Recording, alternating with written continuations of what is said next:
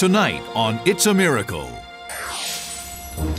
Experience the terror of being trapped in the path of a tornado. I was holding Graham and I was hanging on as tight as I could. But yet Graham was being lifted up in the air and I heard the voice say, hang on to the baby. Plus, two strangers meet on a plane. Are you a doctor? Um, no. And I told him the story and why I was flying to, to be with Debbie.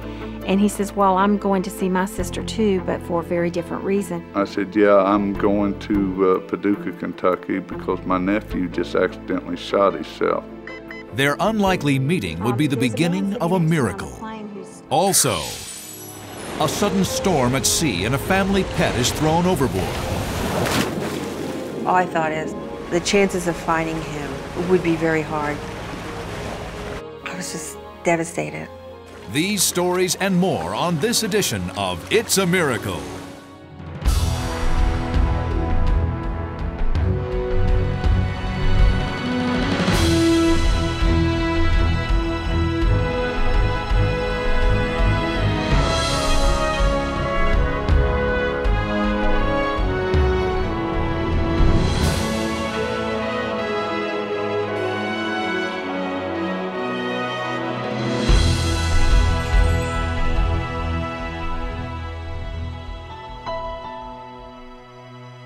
And now from PAX TV Studio 611, your host, Richard Thomas.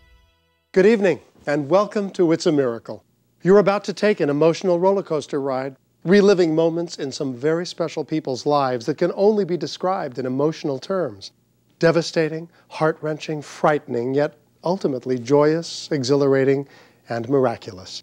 We begin in Gainesville, Georgia, March 1998, tornado season.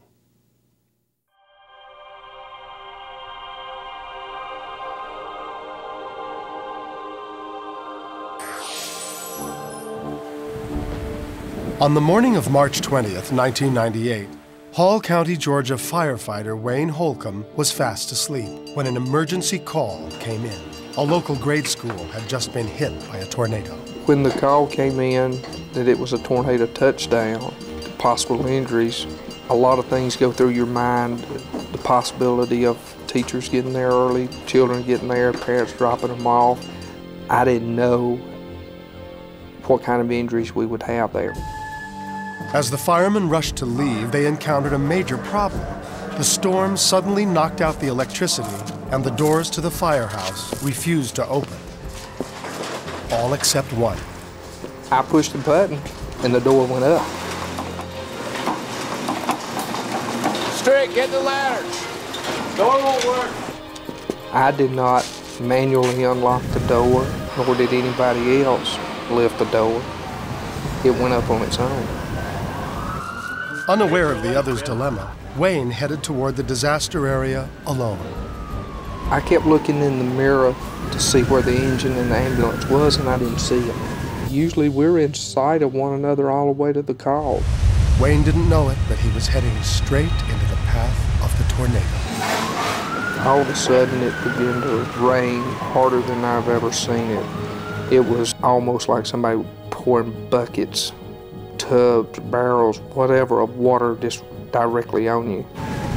The rain was so hard you couldn't see anything in front of you. The windshield wipers were on full blast. They were going just as hard as they could go. And it was like I didn't have windshield wipers.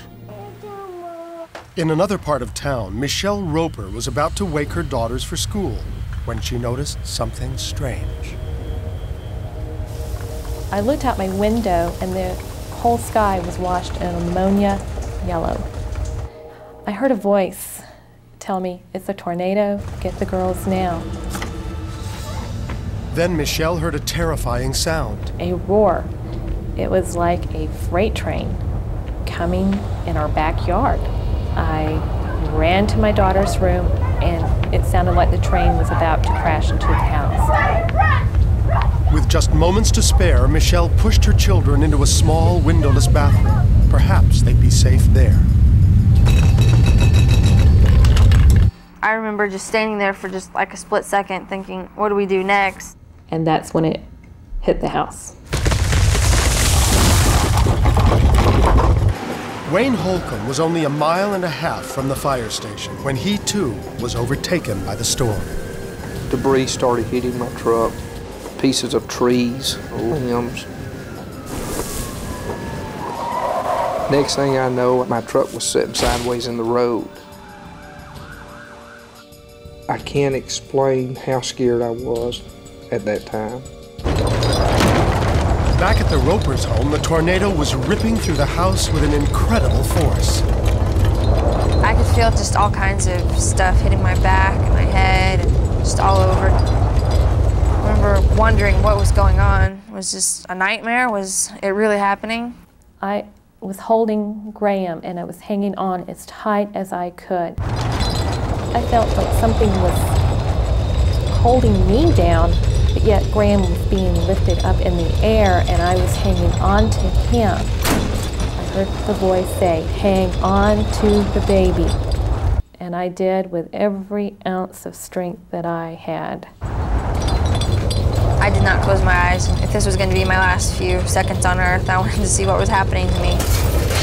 Terrifying conclusion when It's a Miracle continues. Next, the Roper family's home takes a direct hit from the tornado. All of a sudden, everything just exploded. It was there one second, the next second it wasn't.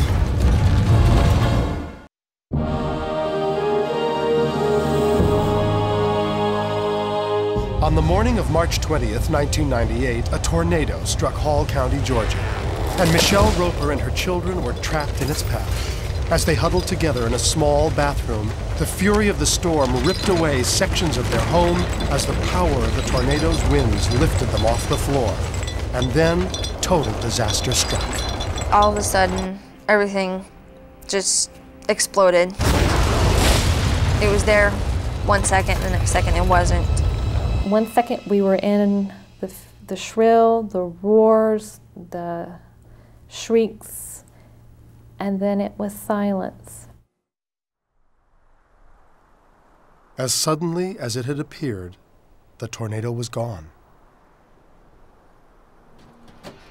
At that same moment, Wayne Holcomb finally realized how close his life had come to ending. I could see devastation and destruction everywhere. Houses totally destroyed, trees down, power lines down, vehicles overturned, roofs gone off of some houses. Nothing was in place. Nothing is where it should have been. The only thing left of the Roper home was a tiny patch of linoleum where they'd huddled together. I looked over at my daughters and they were covered in debris. Summer had blood on her, but they were alive. And I was still holding Graham, and then I looked down and he was just covered in blood, and he had a huge gaping hole in his head. We've got to get help for your brother now. Hurry. And that same voice said, Go down the road.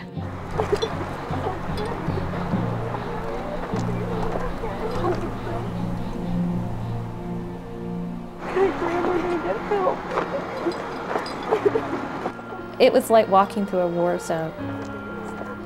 It just did not seem real. I kept thinking I'm going to wake up and this is just a really bad dream. And then, as if it had been miraculously blown there by the storm, Michelle spotted Wayne's fire truck. They were running toward me, and I could tell at that time the baby was bleeding pretty bad. The baby's arms were limp. He was like laying a dish rag over your arms. To me, he was dead. I couldn't get any uh, vital signs from him. I put my face down, could not feel any air moving through him. There was no movement, and I just wanted my baby whole and healthy again. She was hollering, What can she do? And uh, I just told her to pray. I knew that it would take more than what I could do to help that child. I did not want to tell her that the baby may be dead. I did not want to have to look at that mother in the eyes and say there's nothing I can do. Why don't y'all go get in the truck, girls? y'all go get in the truck, okay? Just as things were looking hopeless, off duty firefighter Gene Grizzle pulled up in his truck. It just seemed like a miracle to me that Gene showed up. I said, Gene, get the oxygen. We need to get some oxygen on this kid. I could see the firemen working on my brother, trying to give him oxygen. What flow do you want? Give, give me full, full flow. I just remember praying that God wouldn't take Graham and that he would be okay. With each passing minute, the chances for Graham to survive became less and less, until finally, a hopeful sign. I noticed the child's eyes fluttering a little bit. See his eyes flutter? He's gonna be okay. I told his mother, he's alive, he's gonna be okay. Not knowing that he would be okay, but at that time I knew he was alive. 45 minutes passed before additional help finally weaved its way through the field of debris to reach the injured boy. The ambulances were going all over the county. There were injuries, confirmed fatalities. We put Graham into the ambulance, laid him on the stretcher. He started to cry a little bit and then went back unconscious. And uh, I kissed the baby on the head. And I said, God, this is a small child. Reach down here and touch him. Uh, and if it's your will, let him live. Graham was transported to Northeast Georgia Medical Center in Gainesville, where doctors made a horrifying discovery. They did a CAT scan on Graham to determine the extent of his injuries, and this CAT scan showed a puncture wound to the brain. Graham was immediately rushed to Egleston Children's Hospital in Atlanta, where doctors were standing by to perform emergency brain surgery. They took him into surgery, but at 5 o'clock, the doctor said they could find no puncture wound to the brain, said he had a fractured skull, and he had been impacted with a blunt object. What kind of game would you play with him? Graham made an amazing recovery and was able to return home in just a few days. When I look at Graham, I just marvel that he's here. He's just a living example of a miracle. If Graham hadn't survived, there would have been a huge hole in our family that nothing could replace. Graham's just like a big ball of sunshine to me. He's just so happy most of the time. He means a lot to me, and I wouldn't trade him in for anything. He's a very energetic little four-year-old boy. He's playful, bubbly, delightful to be around. It's just a joy every time that I see him now. Where's my kiss? Wayne was heaven sent for him to have been where he was at that exact moment when we needed him. He is just a living, breathing angel wearing a fireman's suit. To fully understand the strength of the tornado that hit their home, you may be interested to know that Summer Roper's team jacket was found nearly 60 miles away. Stay with us for more miracles right after this. Coming up, a phone call brings devastating news to a potential transplant patient. What are we going to do? She said, I'm sorry, this isn't going to happen. The last plane has left Missouri, and there is no way that they're going to wait for the organ. So there's no way for us to get this organ to you. A woman's life hangs in the balance when It's a Miracle returns.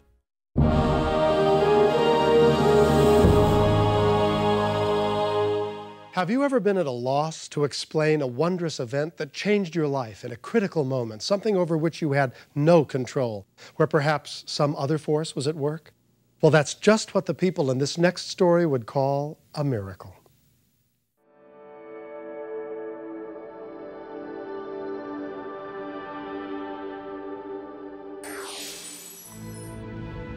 For Janet Larson, Northwest Flight 1815 was a journey that might mean the difference between life and death. Her sister Deborah had suffered from liver disease for the last 10 years, but now her kidneys were failing. She was sick all the time. She spent an average of 10 months every year in the hospital. And when she wasn't in the hospital, she was home in bed. She had no quality of life whatsoever. It's a very heartrending process to go through to watch someone very close to you uh, fade before your eyes. Janet was flying to New Orleans to donate one of her own kidneys to buy her sister some time. But ultimately, Deborah would need a new liver to survive. Janet planned on using the flight time to educate herself on the transplant operation ahead of her.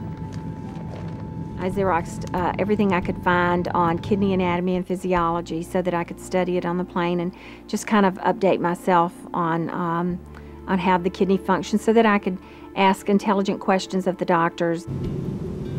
The flight was full.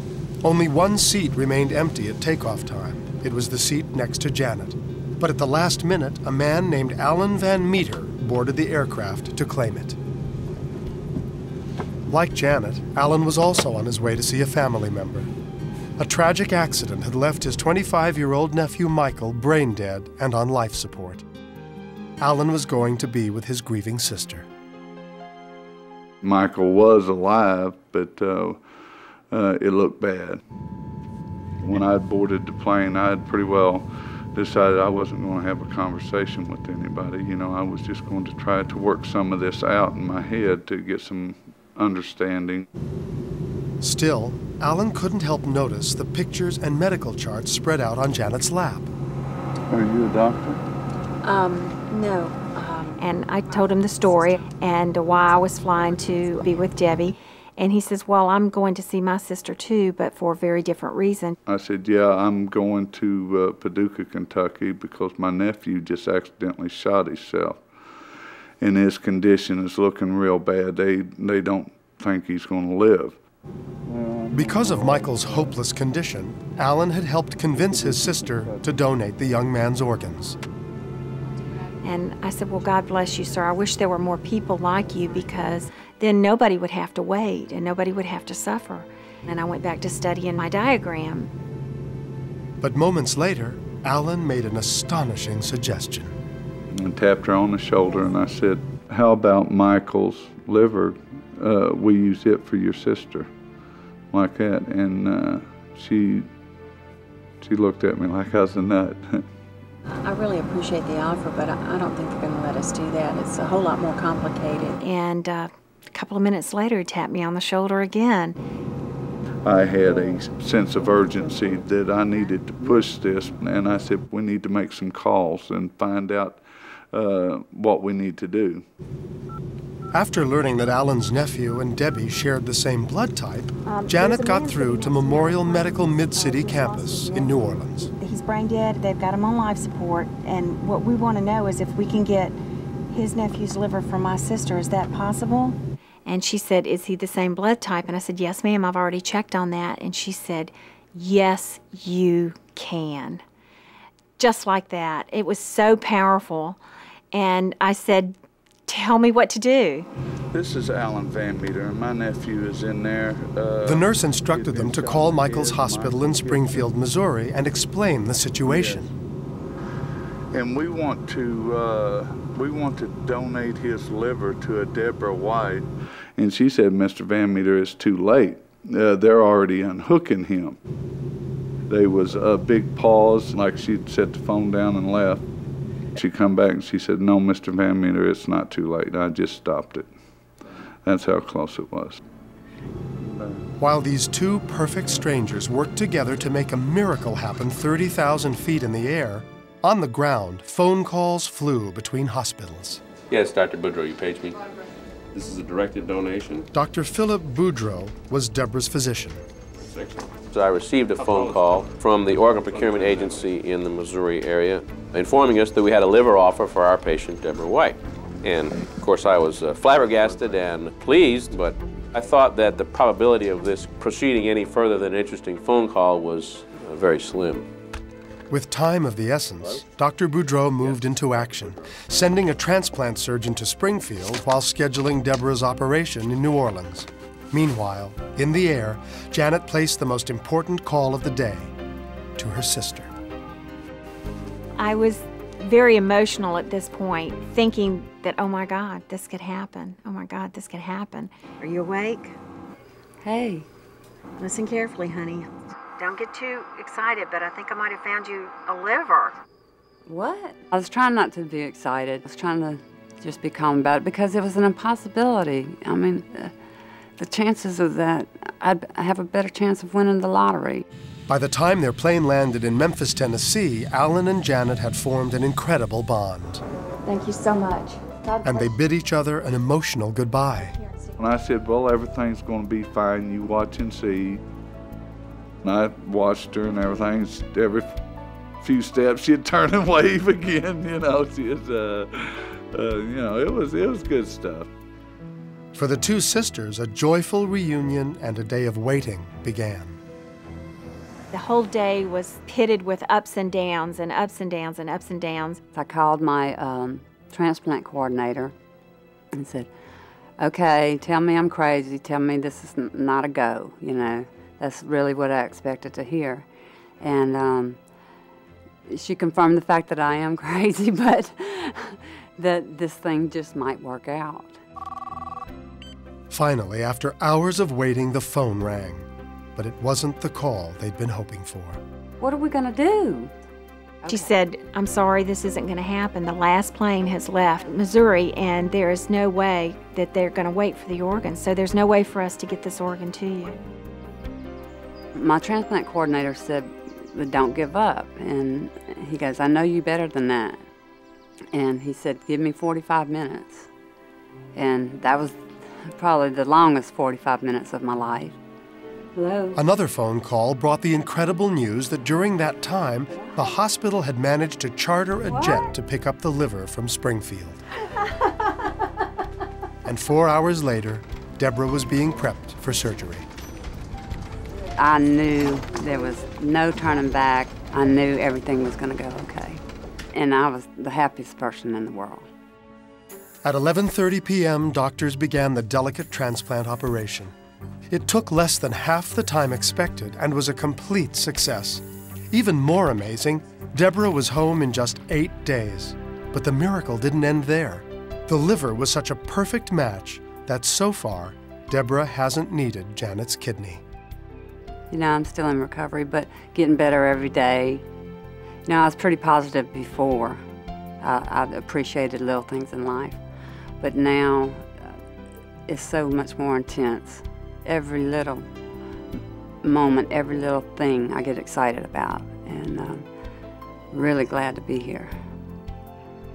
But even in their great joy, Janet and Deborah will never forget the sacrifice made by Michael Gibson.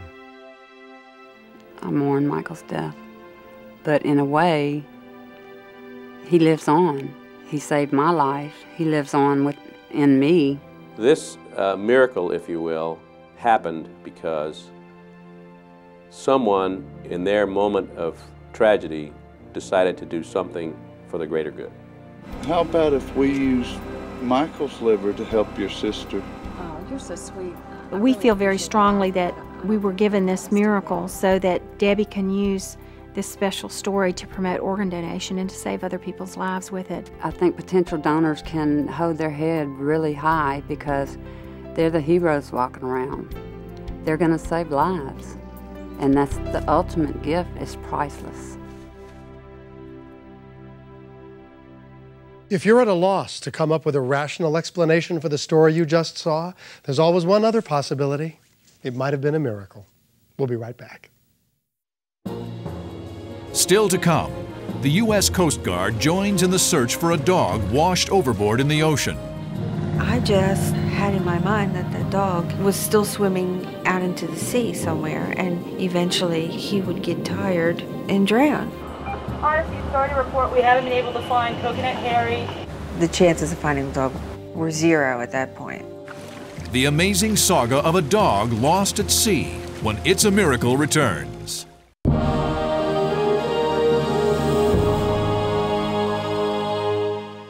birthday celebration, a sunny afternoon, a sailing trip out beyond the Florida Keys. It sounds like all the ingredients for a very special day, but add a sudden storm and it becomes a recipe for disaster.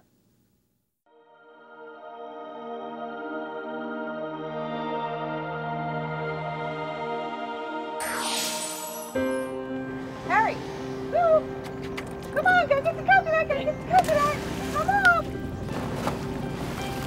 April 14, 1996, started out joyfully for Naomi Simonelli. She and her good friend Gerhard Bitterman were going to celebrate her birthday by sailing her boat, the Odyssey, through the beautiful Florida Keys. Naomi was also bringing along her dog, Coconut Harry, named after his favorite game, fetching coconuts. I'd had that dog since a pup, and um, he's just my best friend. The weather was perfect for a day at sea. We decided to go out scuba diving, so we put everything on the boat we needed and uh, head out towards a, towards a channel. The dog had assumed his normal position on the bow, and Gerhard and I were up on the bridge. Boy, the water's really clean today out here compared to when we get out. But an hour into their voyage, the sky turned dark and ominous.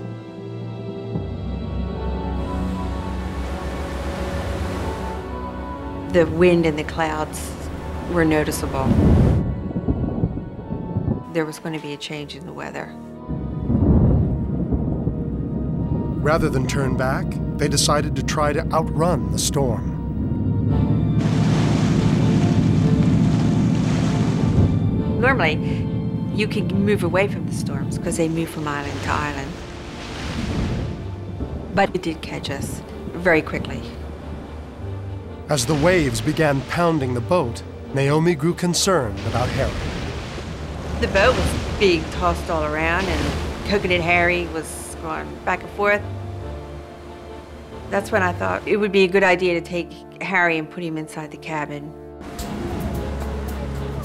It's pretty treacherous to take him down the gunnel to the boat because it's very narrow and there's not handrails all the way down. Good boy, Harry. Okay, go down. Good. Come on. That's it. Good boy. Good boy.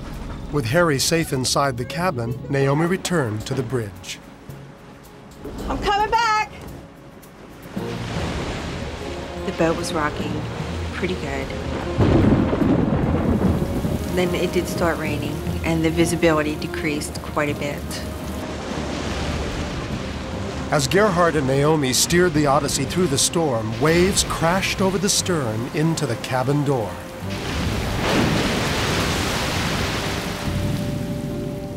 Anxious to rejoin his mistress, Harry darted through the opening. But he never made it to the bow.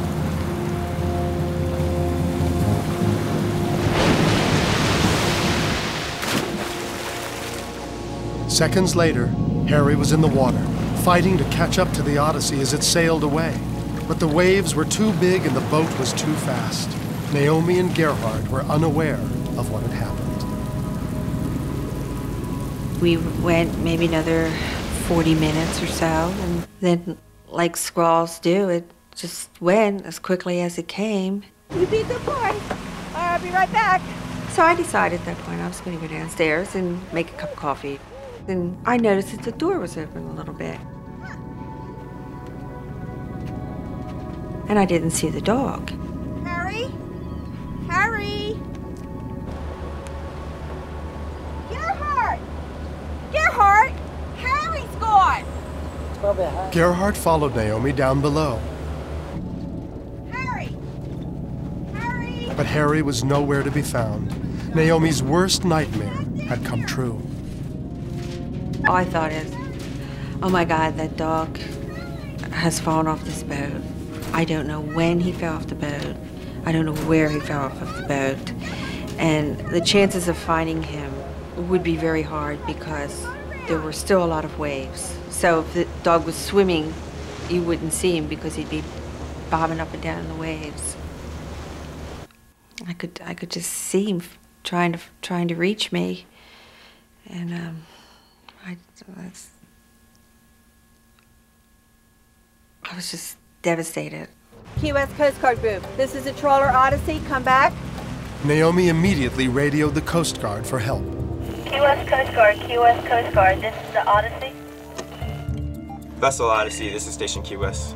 And to my surprise, immediately the Key West Coast Guard came back on the radio. Roger, we have a vessel in route your position, over. And they came. They came and helped look for the dog. That's a Vessel Odyssey, this is the Coast Guard 4 and through and 8, over. Everyone searched tirelessly for the rest of the day. The water was really dirty, you couldn't see a thing.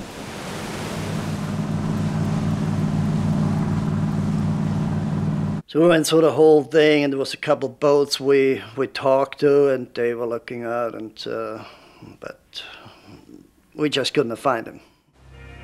By sunset, the search was abandoned. Honestly, this is the Coast Guard small boat. Sorry to report we haven't been able to find Coconut Harry. The chances of finding the dog were Because zero at that dark, point. Uh, we're going to have to return to our station and uh, continue our search in the morning. The dramatic conclusion, when it's a miracle, continues. Coming up, a radio talk show host takes on the challenge of trying to find Coconut Harry. You're thinking, boy, you're never going to find that dog. You just kind of picture that dog out there bobbing up and down in the ocean, nothing around it. You just wonder, how the heck can this dog stay up there and tread water forever?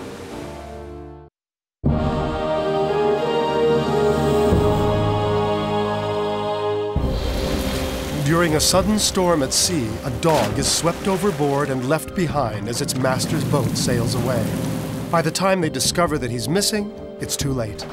The dog could be anywhere in miles and miles of open sea.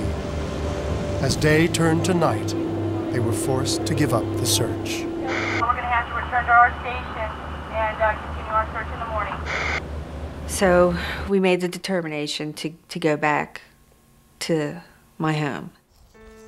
In her entire life, Naomi had never felt so low. I just had in my mind that that dog was still swimming out into the sea somewhere, and eventually he would get tired and drown. That was one picture that kept going over and over in my mind was seeing the dog's paw on the water for the last time, and then his face going in the water. But Naomi's spirits were about to get a lift. Apparently, a number of people had been listening to this story about my dog on the marine radio. So people started calling the home here, giving me encouragement, saying, you know, that Coconut Harry's a golden retriever, and they're a pretty special breed of dog. They have webbed feet and chest cavities that allow them to float, and you, you should never give up hope that perhaps your dog's going to make it to shore. And if he makes it to shore, you want to be certain that people know that he's missing. Encouraged by the calls, Naomi printed a lost dog poster with a picture of Harry on it and began papering the neighborhood with them. The ad generated a lot of concern and help from other people that I had never even met. So there were a lot of people pulling for the dog. May I speak with someone in the classified section, please? Yes. She also placed an ad in the local newspaper offering a reward for his return, dead or alive. Let's go back to the phones, Dave. Good morning. You're on the BizBaz. Meanwhile, a friend of Gerhard's contacted a popular local radio show, Bizarre Bazaar and Flea Market, and its host, Gene Michaels. We're more or less uh, the voice of the Keys. We're very community minded. You're thinking, boy, you're never going to find that dog. You just kind of picture that dog out there bobbing up and down in the ocean, nothing around it.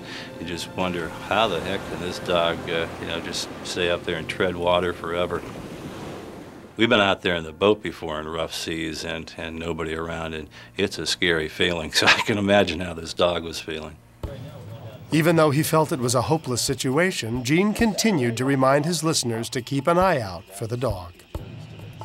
We're all like family here. When something happens to someone in the community in the, in the Keys, everybody comes together and, and helps out.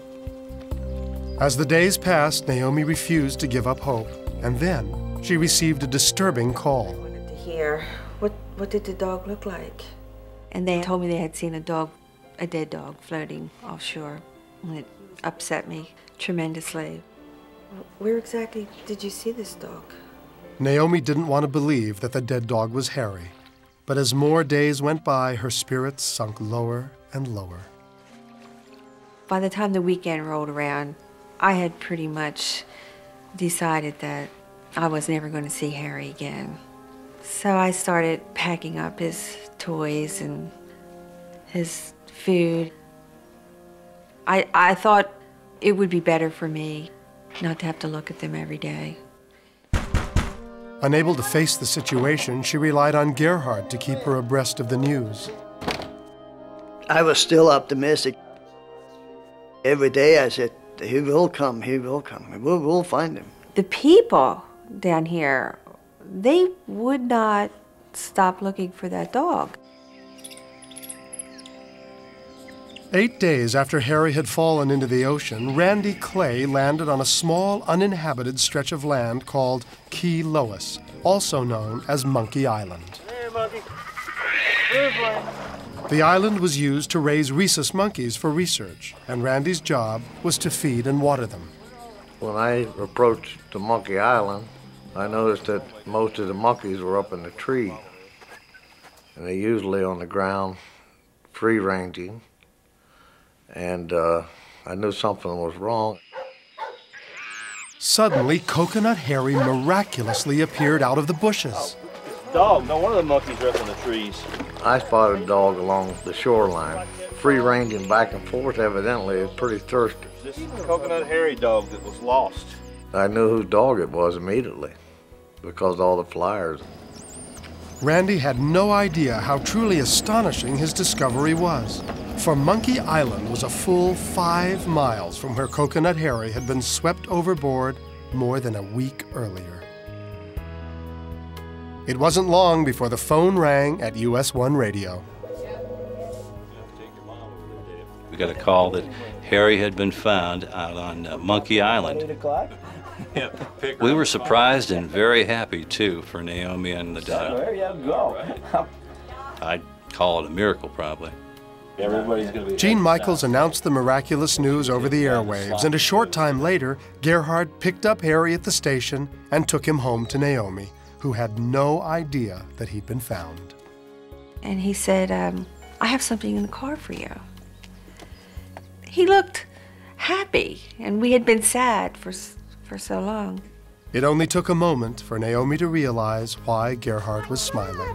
Harry, come here! Come here, come here! Oh, boy! This is good The face was like uh, like the sun, like the sun comes up, you know. Oh, my sweetie! I was just so happy. I just was like, oh my God, I can't believe this is happening.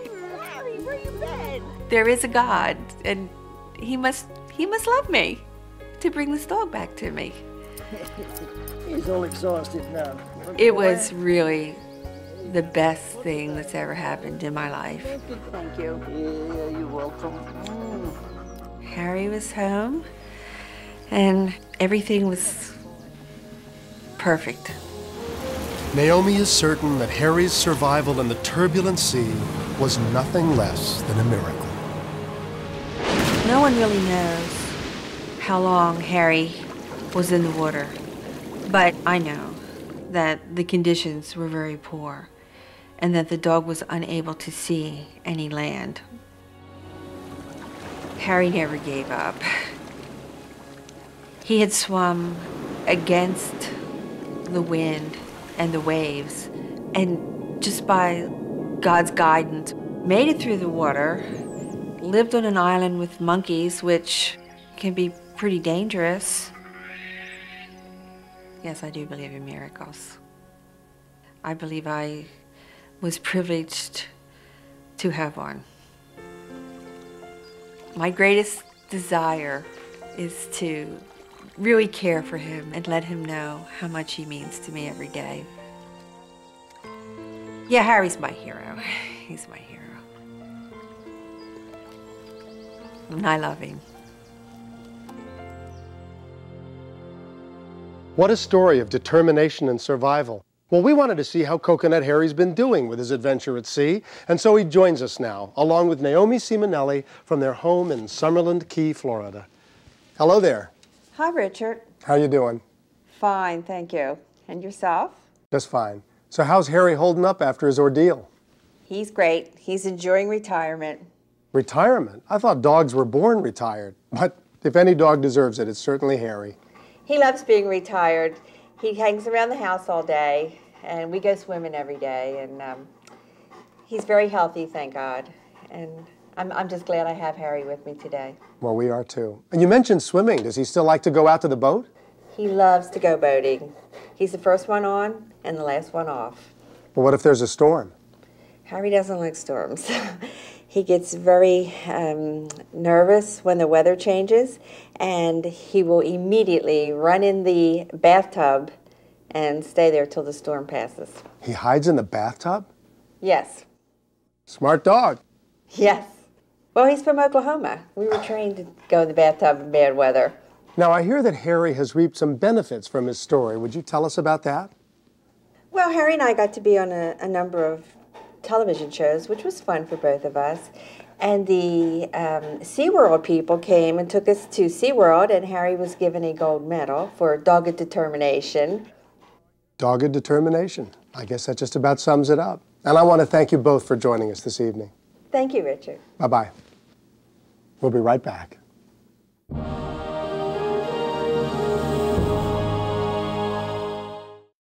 That's our show for this evening. Thank you for joining us, and a special thanks to all the people who shared their remarkable stories tonight on It's a Miracle. It's our hope that whenever you need one, you'll find a miracle in your life too. Until next time, I'm Richard Thomas. Good night.